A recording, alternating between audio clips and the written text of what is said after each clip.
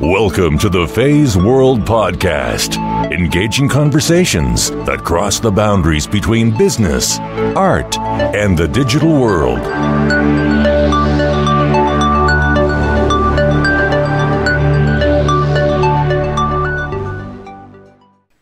Hello, Feisworld podcast listeners. I am back for part two with Ralph Peterson Jr. I'm actually testing a new mic I just purchased from Amazon. I believe the brand is Yeti. It has all these crazy functionalities. I'm still learning as a podcaster, so if you have any feedback for my recording, the questions I have for my guests, please let me know via feisworld at gmail.com. You can also drop me a comment on feisworld.com for each podcast episode or directly via iTunes. So it is 18 to 20 degrees Fahrenheit right now in Boston, completely crazy, and it's gonna be this cold for the majority of the week. But you know what's crazy is ever since I started this project, and as I was walking uh, out of work and on my way home, I thought to myself, wow, it's so cold. I can actually work on my podcast tonight. What a great way to detox and have some fun. So, anyway, part two with Ralph Peterson Jr. If you have not listened to part one, I really highly recommend that you go back to that. In this episode, Ralph will actually teach you the business side of being a musician, including how to stay relevant, what you need to know about the nature of the record business, how to redefine your own success, technology as a great equalizer, and why you should own your own label.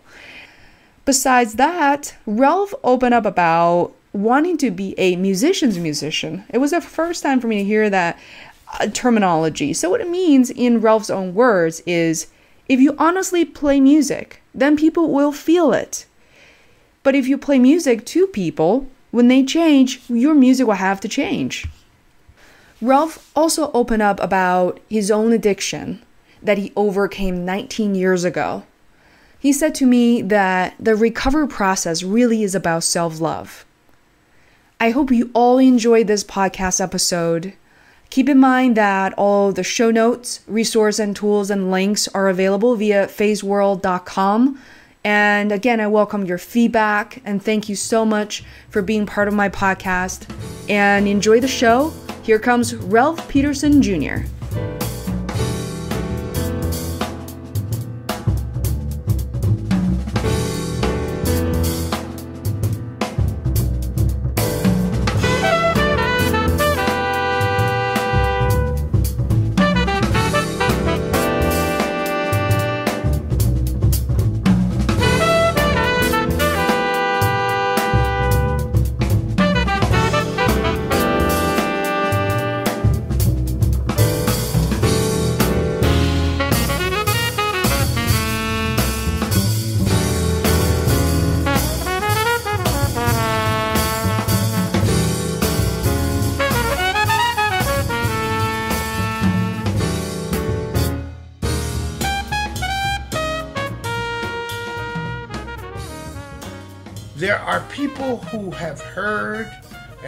possess more music than I do.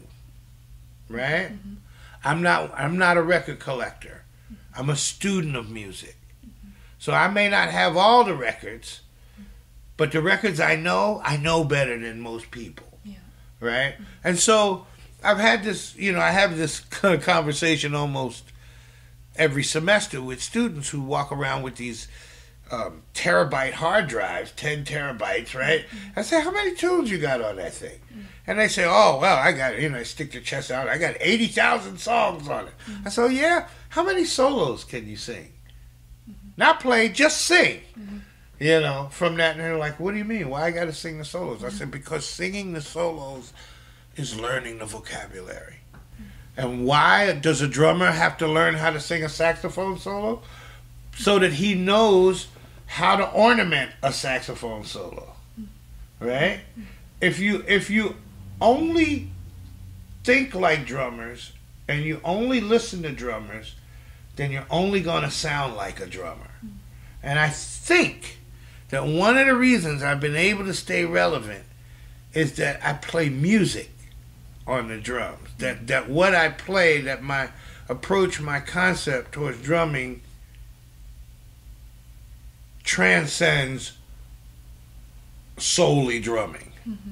And that's not an accident. That's something that has developed over time and with intent. Mm-hmm. And so it's you have to you have to um, identify mm-hmm. what your after you find your bliss, you got to find your gift, whatever it is, and start to build your career on that.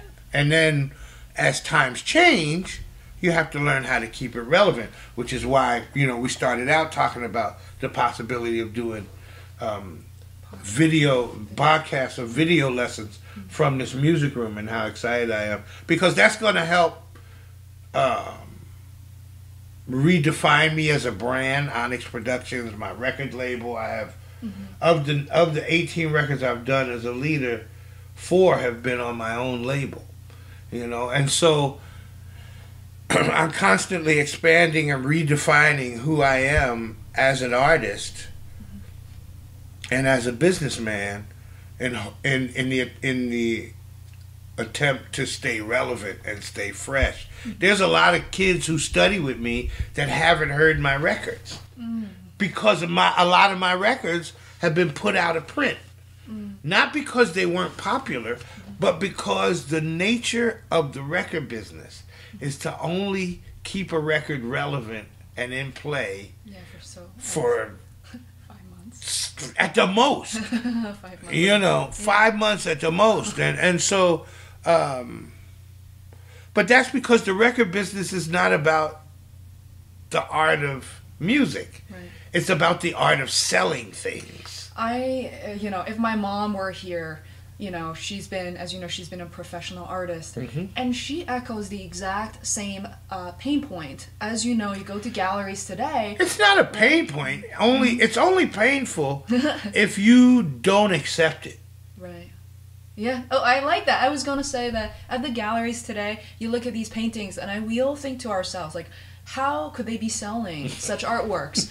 I mean, and then you see people on TV, on radio, people with no training. I mean, modern art today, some of that has turned into uh, duct tape, you know, floating around on the surface, and and, and Yeah. it's just videos Yeah. of nonsense. Yeah. And so, and the more the more like that it is on the surface the more hidden the politics of all of it is yeah, and so you have to start as an artist uh, about 10 years ago i started to redefine what success was for me and not because i had done and made six records on the Blue Note label. So, you know, a lot of these young guys who are flavor of the month on Blue Note, who are on their second and third record and think they're going to live forever, they don't know what I know. okay? You know? yeah, and and and and um coming into the middle part of my career when I started recording with small independents because I had come from most artists go from putting out their own record to independence to trying to get to a major label.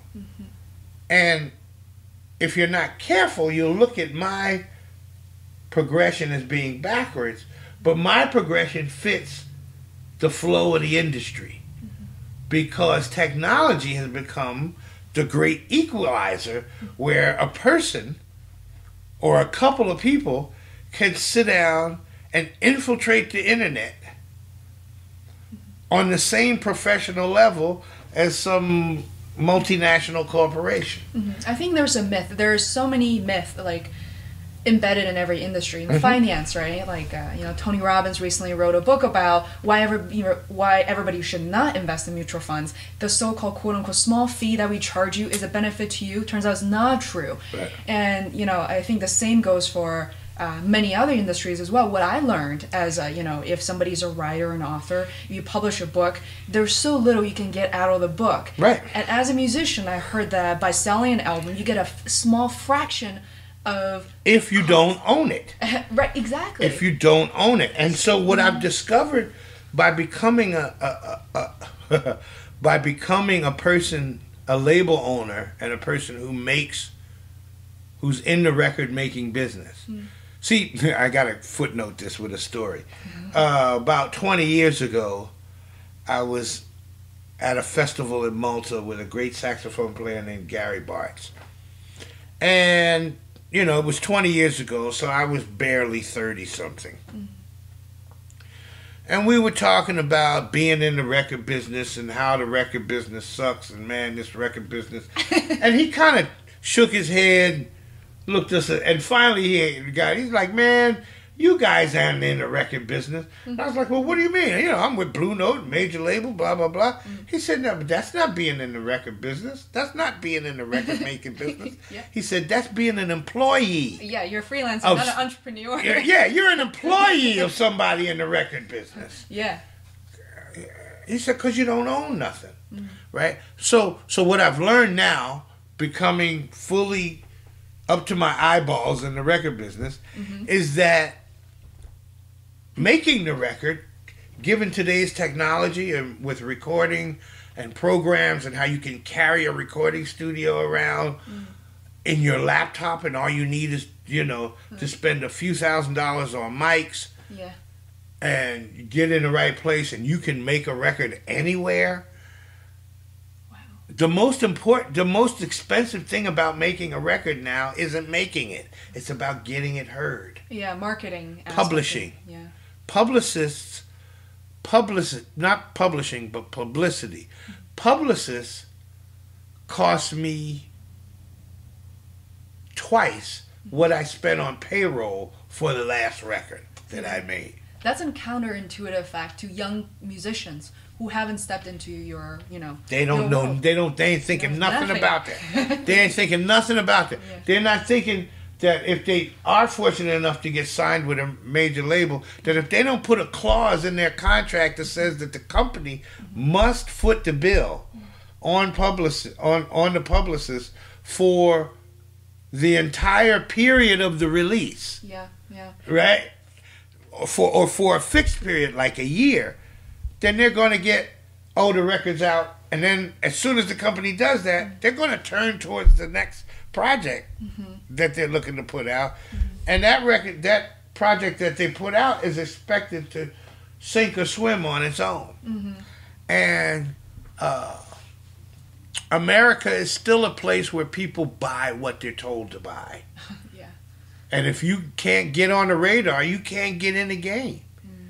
You know, and so uh, it's a constant evolving and shifting of the playing field. The rules are fair because you know they're jacked up for everybody. Everybody's got to play by the same. But you gotta you gotta be mindful of of where on the field the game is being played.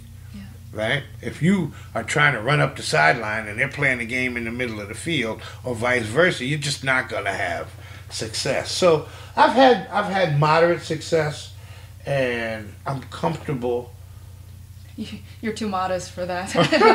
I'm comfortable with the with the person I am professionally. Mm-hmm. Um, I haven't I haven't sold out kind of character principles, you know, um, of uh, standing for one thing or appearing to stand for one thing and and actually being about appearing to stand for the solution. Mm-hmm. but you know when the lights go out and the doors close you're back in bed with the problem makers. Let me ask you a, a slightly different question. Um, my mom is an artist and many musicians i know they feel so they get so easily irritated when it comes to marketing. I just in the realm of marketing and advertising themselves, so their work, or having to make certain accommodations or adjustments as a result. Are you do you feel like you are in the same line? Do you get excited about marketing yourself, your band, or do you rather give it to somebody else to do that for you? I think that there are people better at it than I am. Mm-hmm. Um, but they have to know my story. Some marketers market based on formulas, and it doesn't matter who the artist is. They just plug the artist in the formula, and they market based on the formula. Um, my life hasn't been unique, but there are. It's been a story. It's been a story worth telling, mm-hmm. and it's a story that isn't all peaches and cream. It isn't all roses. Sometimes it's thorns. Mm-hmm. you know what I'm saying? It isn't all. It isn't all a bowl of cherries. Sometimes it's the pits, mm-hmm. but it isn't. It it isn't until you understand that part of my story mm-hmm. that you can recognize why I say some of the things I say and how I feel about the way I feel. You know. Mm-hmm. Um, it becomes a matter of the perception is changed by the perspective. The perspective is changed by the perception, right? Because if oh, you're on the outside and you say, "Oh well," you know, Ralph Peterson appears to be this famous jazz musician, and then you come inside and you say, "Here's a guy who, you know, yeah, he came from a musical family, but he's not a jazz baby. He came up playing funk and R and B." but he wanted to play jazz because it was a more musical challenge, right? It was the challenge of the music that drew me to jazz, not the quest to be famous mm-hmm. or to be popular.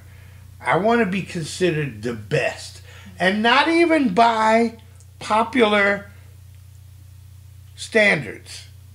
You know, I really want to be the musician's musician.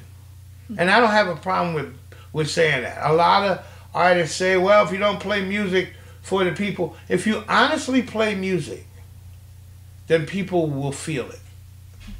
If you play music to people, then they may feel it for a while, mm-hmm. but when their feelings change, you're going to have to change. I really like where you're going with this, and um, this reminds me of uh, Maria Popova, who was a, a, very famous writer. Now she runs a blog with mm-hmm. over three to five million unique visitors every month. She says publicly she writes for the audience of one. Yeah. If she. That's a know, Miles Davis concept. Miles Davis used to say, I've been known to play for one. you know, and a lot of people, including my mother, would would talk smack. Why are you why are you listening to Miles Davis? He only plays for himself. well, you know, and and there are a lot of. I find it funny, mm. almost. Uh, hysterically hypocritical. Some musicians who while riding the crest of a wave of popularity, mm-hmm. which has more to do with the politics of the label they're on mm-hmm. or the money they've spent in marketing and publicity, which is which is what makes them visible, go on these diatribes about playing music, about simplifying the music and dumbing, you know, we don't don't play now. don't play music that people, you know, can't relate to. Well, people can relate to anything that's honest. Mm-hmm. And regardless of how complex your music is, if it is presented and performed honestly, not arrogantly, mm. then people will latch on to it. Mm-hmm. People will latch on to it. Mm-hmm. Even if they don't understand it, mm-hmm. they can connect with the level of passion or they can connect with the exuberance and the fun that you're obviously having. I, I've had people come up to me many times after concerts and say, "This is the first time I've heard a real jazz concert, and I didn't understand anything, but you guys looked like you were having so much fun."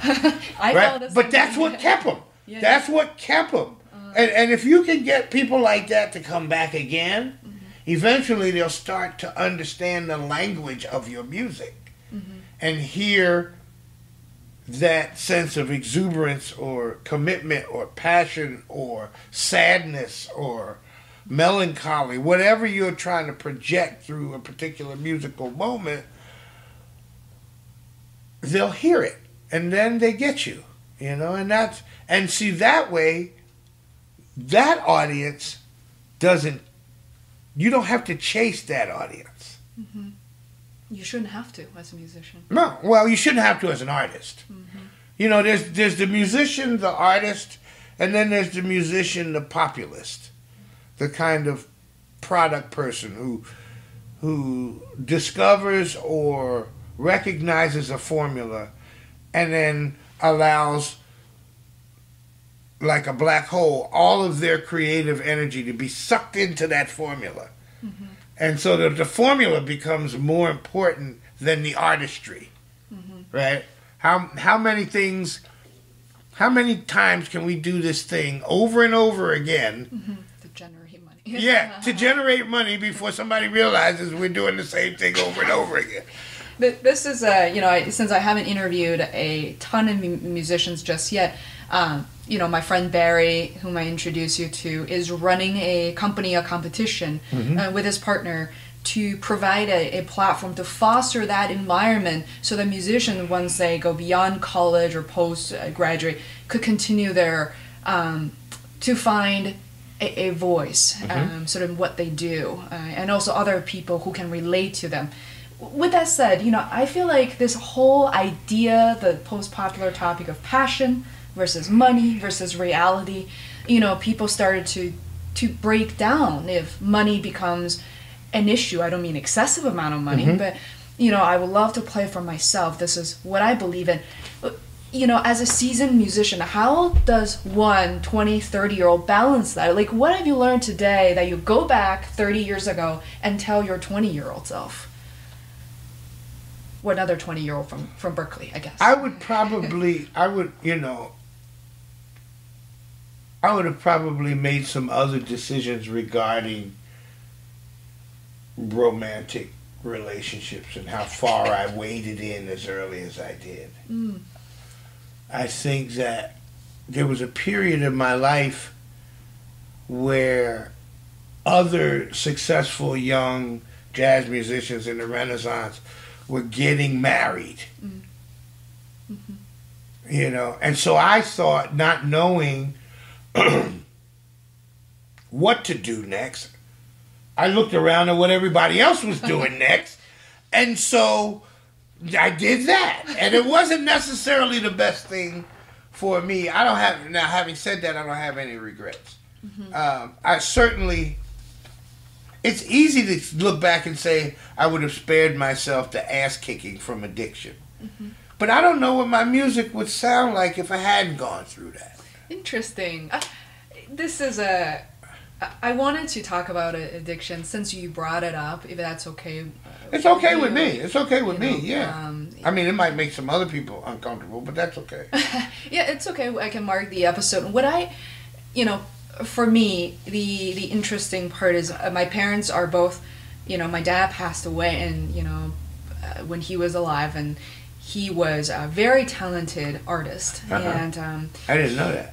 Yeah, a calligrapher. Okay. He drew and he had his own addictions um, with the mm-hmm. alcohol, mm-hmm. um, with cigarettes. I know yeah. it sounds no easygoing, but it's not. You know, I gave ten years ago. I gave up no. cigarettes. Uh, jazz musicians, some jazz musicians, like Charlie Parker, like John Coltrane, early John Coltrane, um, like like Philly Joe Jones, you know there are many jazz musicians throughout history who struggled with addiction. Um, the reasons that that people escape through substances outside of themselves have as much to do with the days and times that they live in externally as they do with what's going on inside of a person uh, internally. What do I mean when I say that? Um, for me, my experience has taught me that addiction is an inability to process feelings. Therefore, you you subsidize or or mask you know, these overwhelming feelings or inability to process them through some person, place, or thing outside yourself. That could be shopping, that could be eating, that could be smoking cigarettes, that could be doing cocaine, that could be shooting heroin, whatever it is. Um, it isn't until you start to understand the disease concept of addiction that you understand that those five things I mentioned are the same. Mm-hmm. They're the same. Mm-hmm. And that it doesn't matter whether, it doesn't matter what you use. What's important about addiction, and I don't want to turn this into an NA meeting because I can't. I don't speak for the fellowship. I can only speak through my experience. Mm-hmm. But what's what's important about addiction is the using and why you use. So uh, that's what I had to get in touch with. I had to get in touch with my feelings of not being enough and where that came from and being alone in a in a in a crowd of adults. See, I was the youngest, mm-hmm. all right, uh, but I was also the baby boy, so that made me the boy prince king, mm-hmm. spoiled brat, mm-hmm. you know, and but I was also a junior. There's a whole pathology mm-hmm. that only people who are the seconds, the thirds, and or juniors can understand. It's a weight that people who don't have that suffix mm-hmm. cannot relate to. They just can't because they don't have the experience. They don't, you know. And so all of these things uniquely balled up um, led to my pathology. And let me let me state this unequivocally. I liked getting high. I liked separating from those feelings because it was a temporary, momentary relief. The problem is, as soon as I, as soon as the high was over, the problem is the problem with all addiction. The problem is still there, and most of the time it's magnified. Yeah. You know what I mean? and so, um, I remember having a conversation with a great jazz trombonist named Curtis Fuller, who played with Art Blakey and is a part of uh, a generation of jazz musicians that were my age when modern jazz was created. Okay, so so at 52, I'm at a point now where the guys. When he told me this story, he was maybe five or ten years older than me because it had to be 20, 25 years ago, mm-hmm. right? So he said, "Man, I don't know what you guys are getting high for. You ain't got, you ain't going through none of what we had to go through." You know, and what he was talking about was having to enter the venue that you were performing in through the back door because no black person could walk through the front door, or or playing in a in a ballroom where they're serving food and you can't eat there. You know, that's I have certain I have certain uh, peculiar peculiar tendencies of that I'm a stickler about when I'm on the road. One of the things is, especially now that I'm clean, is that I want to eat what everybody else is eating. I don't believe in banned food. There's the, there's the food that every, and if you want to charge me for it, well, I'm going to make sure I charge you enough that I can afford to buy the food I want, right? Because I want to be treated like any other person. You know what I mean? And so I should be able to command a fee that allows me to eat on the same level as the people I'm playing for. Mm-hmm. And if I can't, because if I'm not able to do that, then you're not paying me enough, and I haven't asked for enough. So I got to mm-hmm. ask, why have I undersold myself? Mm-hmm. And a lot of musicians undersell themselves because they're only because they're thinking about eating this week, mm. or today, or this month, making the rent this month. You know, and so as you get older, you try to see farther down the road. Mm-hmm. You try to have three months in the bag, six months in the bag, And I, you know, I think like patience is something I developed as I, as I with myself age over the past ten years. you know, everything. I think technology with a lot of things we talked about just now. Everything has to happen instantly. Right? Well, patience makes people less. Pa- I mean, technology makes people less patient. Yeah, absolutely. You know, and so the young, the young people now have it harder than you had it or I mm-hmm. had mm-hmm. because the technology says click it, click it. It's not coming fast enough. Click it again. Yeah. You know, you know, and Yeah. so in the speed that it takes to re- hit a return button, they expect answers when sometimes it's the process mm-hmm. of something unfolding that is the most important part of the learning experience. Mm-hmm. So, and I am not sure how How we got here. how we got here, but it has to do with questions that students ask me or I wish they would ask. Mm-hmm. And um, one of the things that I don't hear is oh, let me put it this way. Let me deal in the positive. One of the things I love hearing is when a student comes to me and says, Man, I've been working on this thing since you gave it to me last year mm-hmm. and I'm just starting to figure out what I'm supposed to get from it. Because that's how it's supposed to develop. That kid is going to be able to use whatever he discovered in a way to change music, mm-hmm. you know, mm-hmm. forever. So it's uh but all students are different. You can't there's no formula for teaching. Mm-hmm.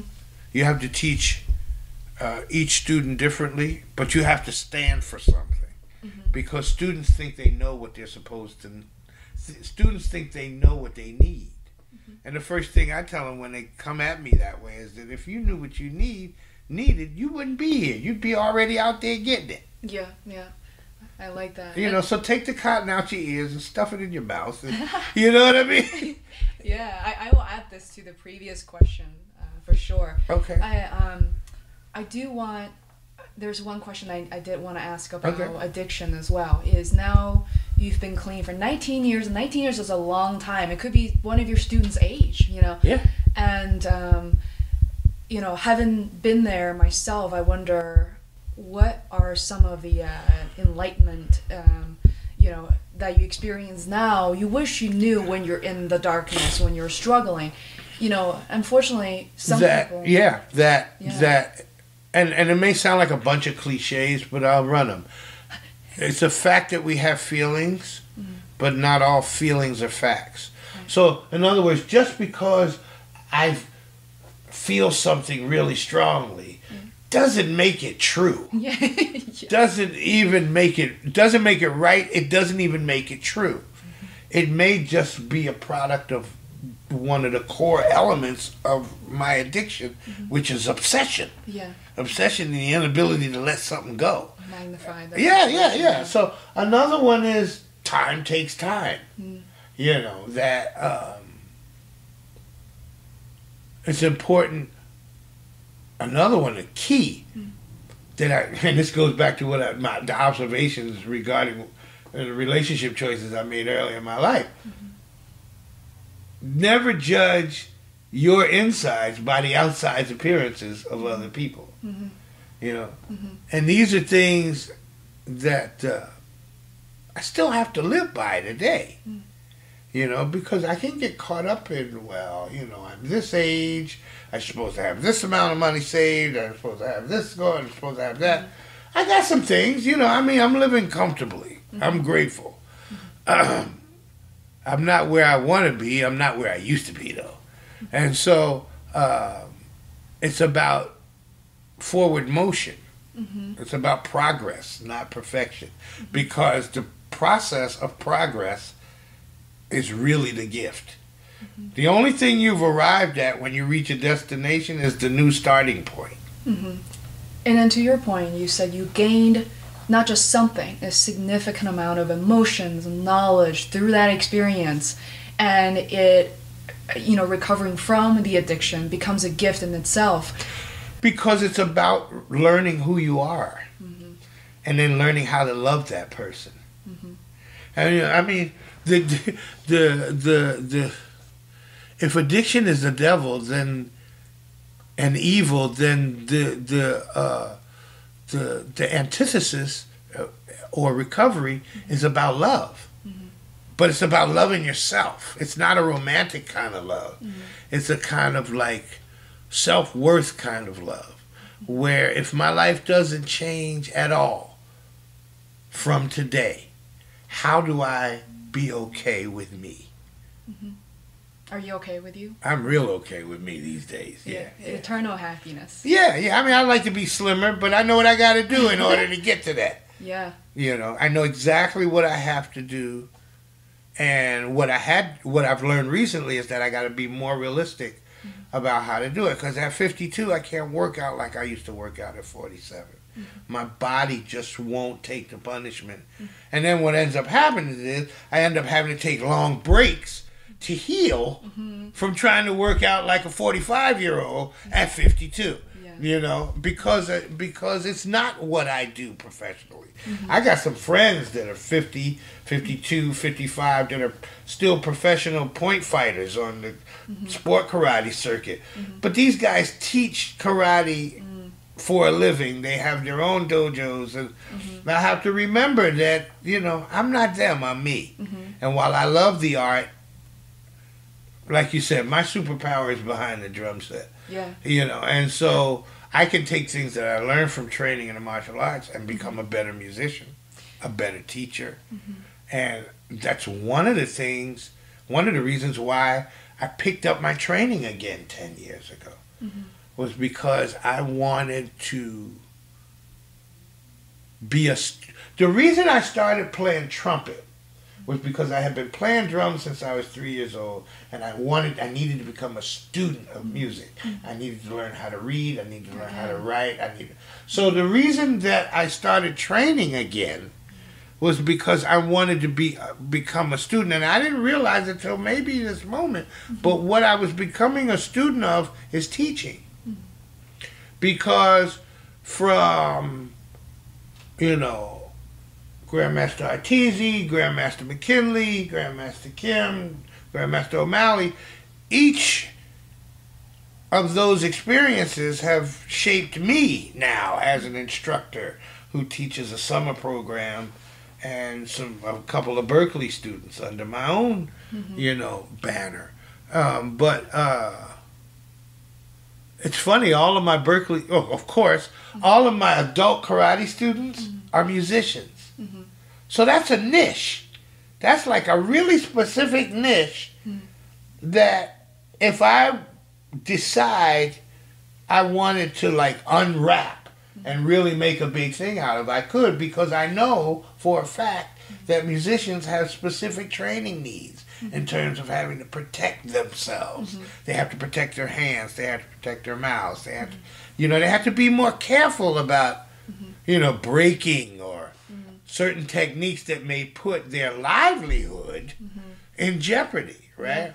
And not all, not all diehard martial artists can relate to that. You know what I mean? No. Some some karate guy woke up, you know, came up sticking his hands in hot burning glass. You know, mm-hmm. he's not gonna. He's gonna say that's the only way you can become good. Yeah. No, Yeah. this is this is really fun and um apologize for going way over That's all time. right. That's all right. Um Do and I, part one, part two. Yeah, I can, that's exactly what I'm thinking that I'm gonna do. So, Okay. um, I can assemble the pieces together. Yeah, together. sure, sure. And um, I would love to get a piece of your music to open up the um, something exciting, something that you think is relevant to what we just talked about, um, or deliver the right emotions and uh, I'll tell you what. Yeah.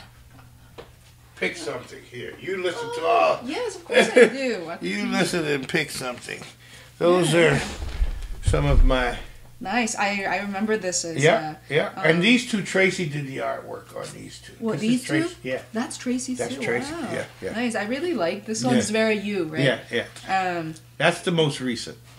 I, I love the concert you had at Berklee, and I had no idea how many people were going to be that. I mean, that excited. If you know what Yeah, I mean. yeah. People understand. Uh, We're, we're going to try to gear up and do that concert in the fall of 15 again. Wow. Yeah. What's the name of that band, by the way, you're playing with? That that group is the Messenger Legacy, and and we're trying to uh, get a recording together now to put out with that band. Um, that's the band I just toured France with, and we've just got the anchor gig for next summer's tour, starting in Vienna, which might include Amsterdam. Hey, it's Fei. I am back for a few words at the end of the show. I hope you enjoy what you heard. You can visit us online at feisworld.com or social channels such as Facebook, Twitter, and Instagram, also under Feisworld to keep things simple. I personally review and respond to all the messages. Love to hear from you. Thank you and lots of hugs. See you next week.